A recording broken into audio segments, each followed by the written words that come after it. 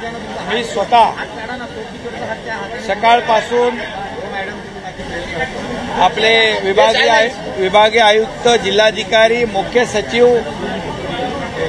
या सगळ्यांना सूचना दिलेल्या आहेत की पाऊसचं प्रमाण जास्तीचं आहे आणि त्यामुळे आपली जी यंत्रणा आहे आपत्कालीन यंत्रणा एस डी आर एफ आहे एन डी आर एफ आहे आणि वि- आपल्या विविध महा- महापालिका आणि जिल्हा प्रशासनाच्या सर्व आपत्कालीन व्यवस्था ह्या सर्व यंत्रणा अलर्ट आहेत.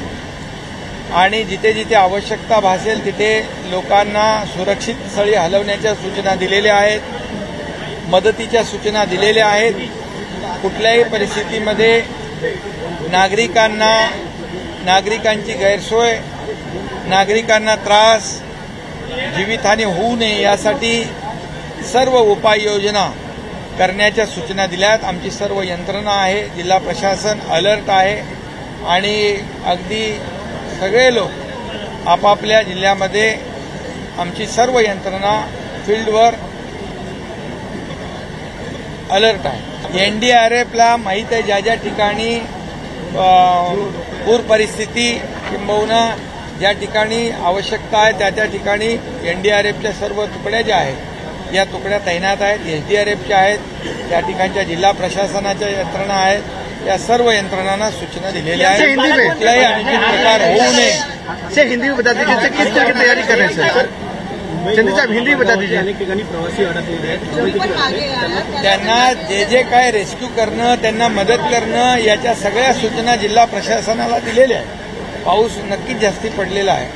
परंतु पावसामुळे कुठेही अनुचित प्रकार दुर्घटना होऊ नये अशा सूचना दिल्या.